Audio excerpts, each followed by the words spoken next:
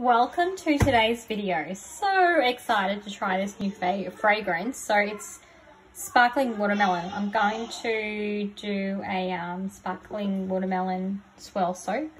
Um, and I've got some new mica, just like a rose gold, which looks super pretty. It's a bit hard to tell at this angle, um, but really, really pretty. I've got some fruit green mica too, um, which is really, really pretty and green.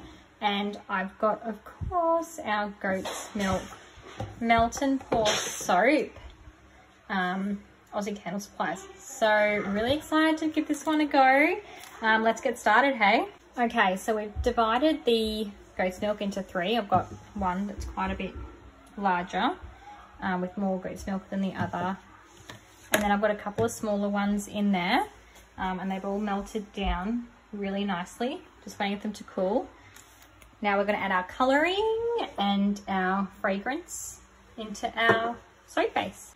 Alrighty, so we've got our plain, we have our mica green, I think it's called like fruit green or something actually. Um, and then we've got like a pinky colour um, mica. It's a bit hard to tell. Maybe that light's a bit better. But um, yeah, they're looking pretty nice. I think it's time to get pouring. Pouring Do a little bit of the plain goat's milk to start with. And then I think we'll go in with some of the pink. You guys can see that in there, okay. Oh, that's looking pretty.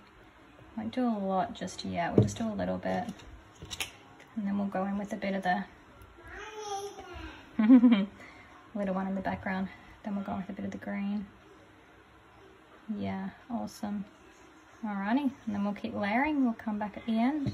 Okay so we've done a couple of pours so far and look at that there's like some little gold sparkle specks in there too um which you can't really pick up in there but coming through the soap it's looking pretty good.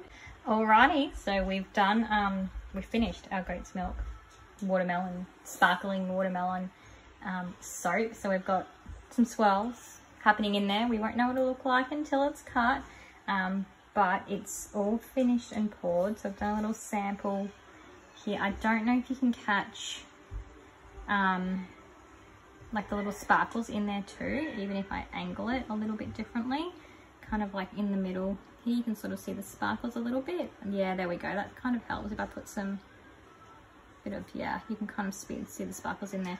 Um, but yeah, so we'll let it set. We'll come back tomorrow and we'll um, unmold and cut.